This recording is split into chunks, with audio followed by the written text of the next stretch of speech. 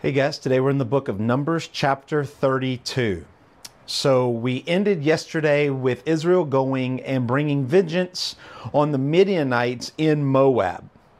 And so we pick up right after that today, uh, and where in verse 5 it says, uh, And they said, If we have found favor in your sight, let this land be given to your servants for a possession.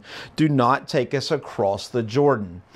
So here they destroy the Midianites in Moab. They come back to Shittim, the place across from Jericho, and they see this place that is now known as Gilead. Um, very hilly country, tall grass. It's a beautiful place.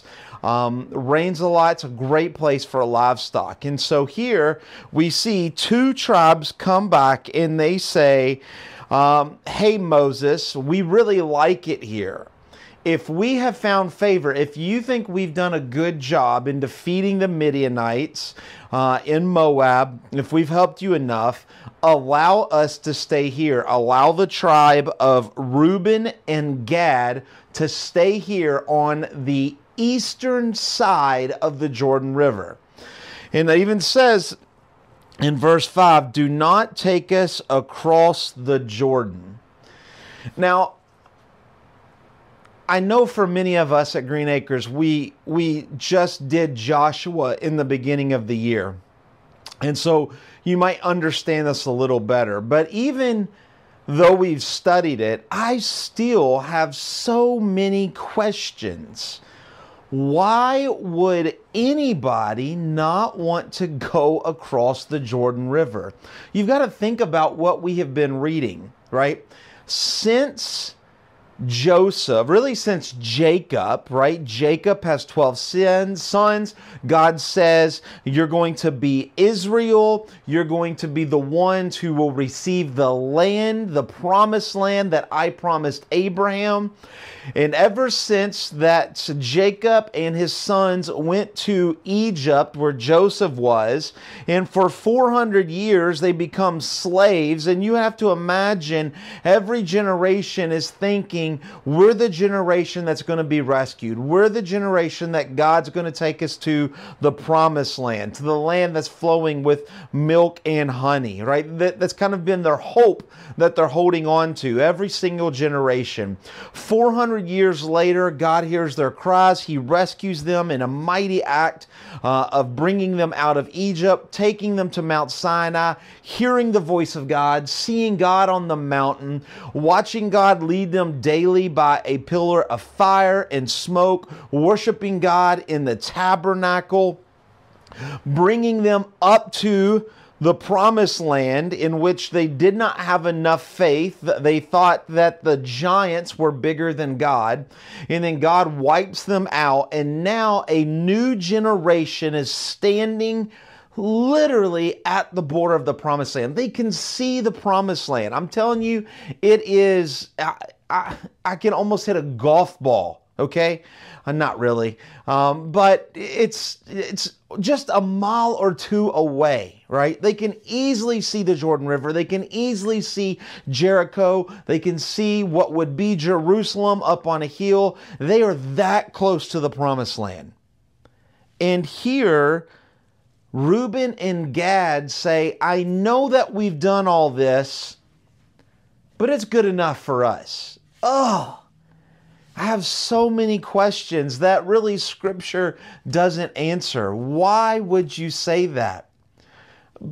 But as a pastor, as somebody who spent a lot of his life in church, I think I see the exact same. People who walk with God, who have gone through valleys, who have gone on mountains, who've gone into battles, who've come out, they've walked with God, and they tell God, God, this is far enough. And God says, No, I have something better for you just over the Jordan. And they say, No thanks, this is good enough. Ugh.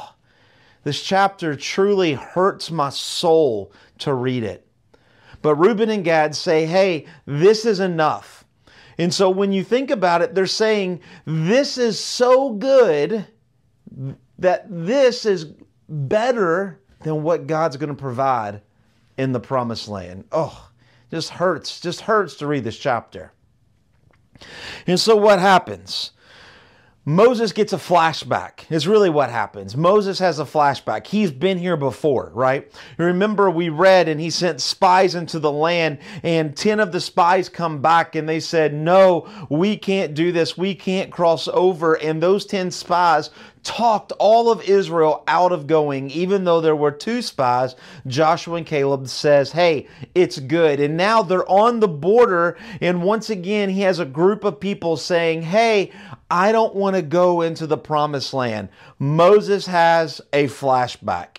And we get to see this flashback that's taking place here. He says, Why will you discourage the heart of the people? Why would you say that? We're on the border. Israel's ready to go. Don't discourage them. Why would you say this? Your fathers did this. Your fathers, the people, their forefathers, 38 years ago, talked Israel out of going over into the promised land, and they all died. Moses is saying, Don't you realize God will do that to you? Don't make the same mistake that your fathers have done. Don't discourage, verse 9, the heart of the people from Israel from going into the Lamb. And he says he killed them all because they did not wholly follow God, verse 11. And he even goes on, and uh, the Lord's anger was kindled against them. He's explaining the story. Verse 14, he says, Behold, you have risen in your father's place a brood of sinful men to increase still more the fierce anger of the Lord against Israel. Here, Moses says, You broodful, uh, you brood of sinful men, or your brood of serpents. This is the kind of the same words that Jesus uses in Matthew chapter 12, right? He's getting at what what are you doing? We, God has brought us here again, and you're doing the same identical thing. You don't have faith. And he says, God will destroy you in verse 15. But in verse 16, we see the true hearts of Reuben and Gad. I don't we see their true hearts. I still don't understand their hearts. Okay, so it says, um, he says, We've come near. We will build sheephods and livestock and cities for our little ones, but we will take up arms ready to go before the people of Israel until they have bought for them a place. Uh, Reuben and Gad, the people of these two tribes, say, Hey, whoa, whoa, whoa, Moses, Moses, we have faith in God. We want to stay here, but we will cross the river with you. Our women and our children will stay here. We need to build them cities first because there's still a lot of enemies around. So while we're gone, they need to be protected. But we will pick up we will pick up the swords and the spears and we will lead all of the other 10 tribes across the Jordan, and we will be basically what we would call today the front lines of the battlefield.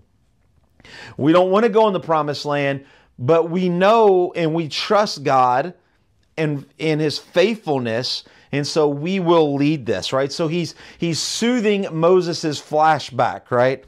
And he says we will not return to our homes until each of the people of israel has gained his inheritance. In verse 20 so moses said to them if you will do this you will see this over and over again. Moses uses this word if. Okay if you keep your promise uh, it's okay We'll, we'll let you come back here. And then he says, But if you will not, if you break your promise, notice what it says be sure your sin will find you out. In the Hebrew, it's, it's a, it, it uses a language of, um, of, of an, uh, an action. And it paints a picture that sin is active, will be actively looking and pursuing them to take them out. So if you break your word, Reuben and Gad, your sin will actively seek you and it will destroy you. And so Moses gave a command to all of Israel, to the other 10 tribes. And in verse 29, notice it says, If if, notice that, if the people of Gad and Reuben carry out their promise, then you shall give them the land of Gilead. However, verse 30, if they don't keep their promise, uh, then the um, Uh, we will pass over armed before the Lord, and the possession of inheritance shall remain with us beyond the Jordan. Right? So you get this if in this if. Moses, if they keep their promise, it's good. If they don't, don't don't let them do it. Right? And Moses gave it to them, to the people of Gad, to the people of Reuben, and now. Here in verse 33, we see the half tribe of Manasseh. Now we know because we've read Joshua uh, those of us in Green Acres, we read Joshua that on the east side of the Jordan it was Reuben, Gad, and the half tribe of Manasseh.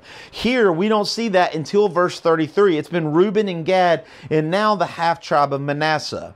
And honestly, we don't have in the Bible why uh, the tribe of Manasseh broke into half. Okay, we don't understand why half of them will be in the promised land, half of them will be on the other side. We we we don't know. It's a question when we get to heaven, right? Um, but maybe verse 40 helps us out here. It says, And Moses gave Gilead to Makar, the son of Manasseh. Maybe uh, that in the Reuben and Gad going up in their building, Makar and his descendants says, Hey, this is pretty nice. And they joined, and because they took over land because they started to build, they just said, hey, yeah, throw us in with Reuben and Gad. We don't know. Doesn't really matter. We'll ask Jesus when we get there. Um, but that's the question. So here you would say, man, this is an interesting story, but where is Jesus? Well, simply, uh, where's Jesus in your life? A lot of people walk up to the to the river of the Jordan. They walk up to salvation and they say, "You know what?